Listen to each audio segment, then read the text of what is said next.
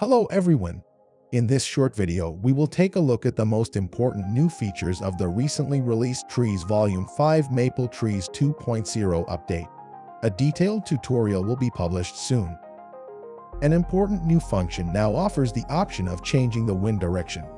This function has an influence on the entire vegetation in this scene.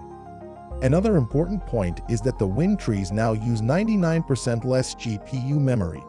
In a test, we were able to successfully open the scene shown on a laptop with an RTX 3060 with only 5GB of memory, and were even able to successfully render a sequence in Full HD in Unreal Engine 5.4. The new update also includes a foliage interaction system,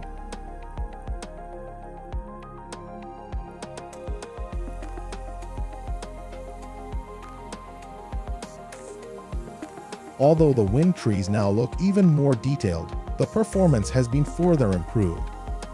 Tree leaves now have a shape geometry and no longer just flat surfaces. In addition, the leaves now use opaque material properties rather than masked materials. The 2.0 update is available from Unreal Engine 5.3. You will now find these two new maps. This also applies to the Big Forest pack. When you start one of the two maps in game mode, press the Z button to display the wind controllers. 5.3 will also be the last version in which the previous wind animations will be available. These are no longer included in 5.4, which is why the asset only takes up 18 gigabytes of hard disk space. In comparison, the 5.3 version takes up 76 gigabytes of hard disk space.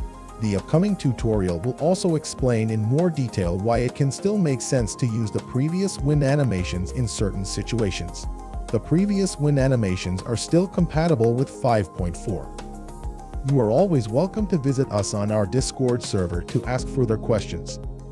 Thank you and see you soon.